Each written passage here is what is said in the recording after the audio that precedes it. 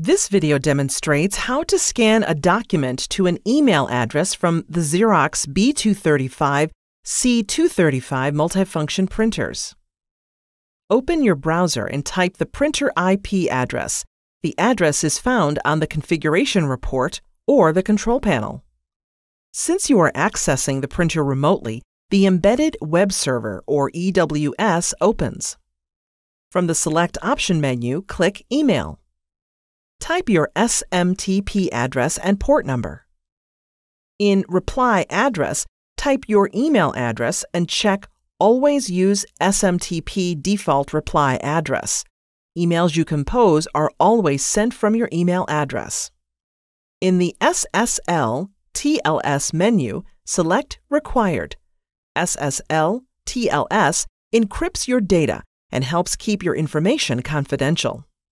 Deselect Require Trusted Certificate.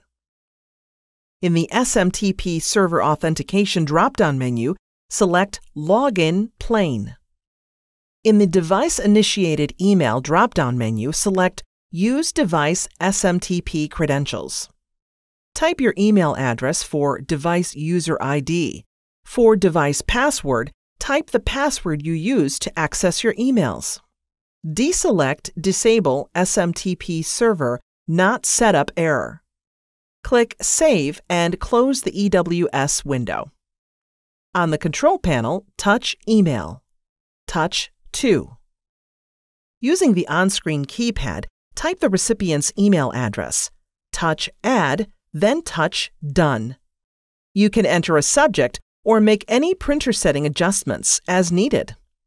Place a document face up in the automatic document feeder. Touch the green arrow to scan the document. The screen displays the scanning progress. The scan log prints a receipt of the email that you sent.